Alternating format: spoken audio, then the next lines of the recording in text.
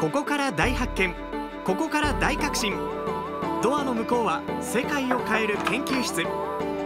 本日の研究テーマは？環境に優しい方法で産業廃棄物から貴金属を回収。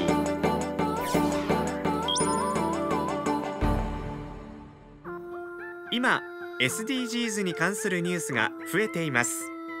私の研究テーマの中心も地球環境や生活環境さらには生き物の体内にある化学物質のありようを明らかにし未来に向けた環境の調和を実現することです。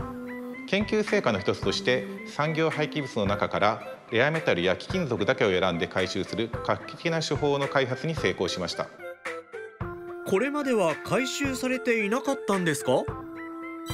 これまでの標準的な手法では複雑なプロセスが必要であり回収効率も低くコストもかかるためビジネスにつながらないものはそのまま廃棄されていました。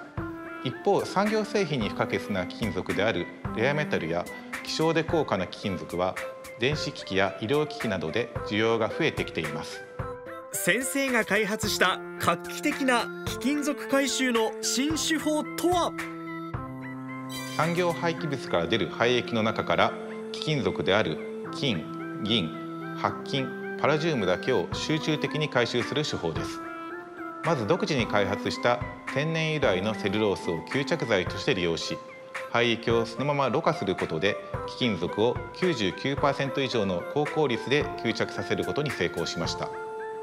次にこの吸着剤を焼却するという環境負荷の少ないシンプルな手法で高純度の貴金属を回収することができます。世界的にも注目されているんですよね。はい。吸着剤に集められる貴金属の最大吸着量が世界トップであり他の化学成分が大量に混じっていても影響を受けることなく低コストでリサイクルできる点が注目されていますまた今まで難しかった強い酸性廃棄からの回収も可能になりました。